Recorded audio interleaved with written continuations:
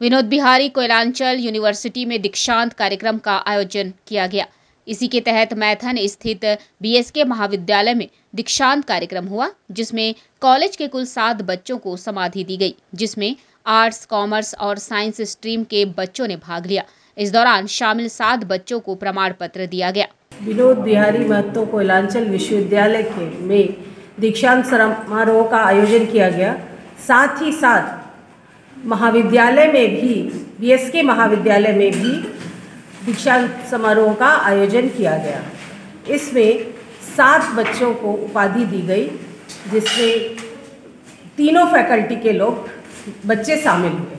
We time news के लिए निरसा सेवी की सलूजा की रिपोर्ट।